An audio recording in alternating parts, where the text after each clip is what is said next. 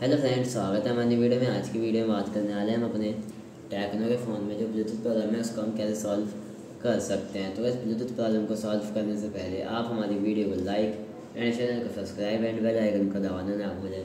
तो बस वीडियो को हम सिंपली शुरू कर देते हैं। तो बस देखिए, सबसे पहले हमको क्या करना है, जो हम बस टेक्नो का फ़ोन है टेक्नो के फ़ोन की मोबाइल सेटिंग्स होती है, उस सेटिंग्स को हमें ओपन कर लेना है। तो बस हम सेटिंग्स को ओपन कर लेते हैं। ये सेटिंग्स को ओपन करने के बाद आपका भी कुछ ऐसा इंटरफेस शो होता होगा।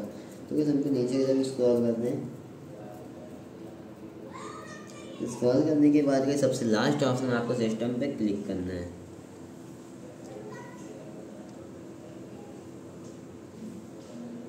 सिस्टम पर क्लिक करेंगे यहाँ पर आपको रीसेट ऑप्शन शो होता है। रीसेट ऑप्शन पे क्लिक करेंगे।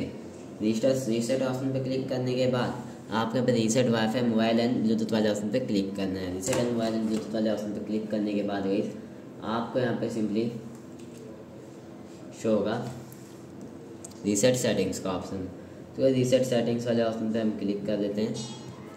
क्लिक करने तो आपने जो पैटर्न लॉक लगा रखा है, उस पैटर्न लॉक ऑप्शन पे हमें क्लिक करना है। मतलब डायरेक्ट करना है।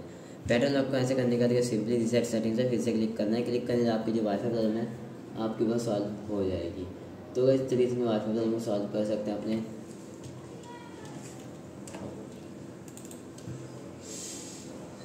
ब्लूटूथ प्रॉब्लम को सॉल्व कर सकते हैं अपने टेक्नो के फ़ोन में तो कैसे आई होप कि आपको हमारी वीडियो पसंद है तो वीडियो को like and channel subscribe and bell icon को दबाना ना भूलें। तो मिलते हैं अगली वीडियो में, तब तक के लिए बहुत बहुत धन्यवाद, बहुत बहुत थैंक यू